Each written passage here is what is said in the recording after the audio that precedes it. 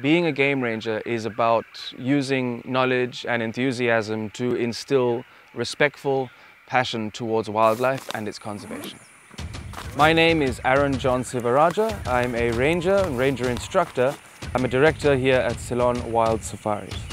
I've been obsessed with wildlife ever since I was a tiny toddler. From finding little creepy crawlies of wildlife in my garden in England as a kid, all the way up to moving to Sri Lanka and finding snakes and scorpions in the gardens here. And that's always been something that I've been passionate about.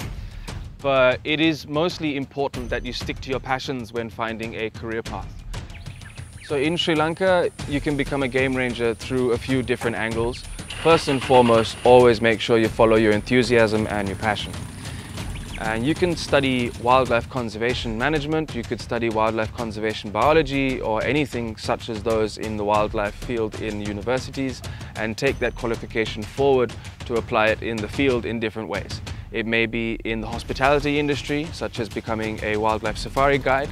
Uh, it could be carried forward in education industry, or you could even branch off into wildlife research, which is one of the most vital parts of being a game ranger as well. In this field, nobody knows everything. It's always exciting.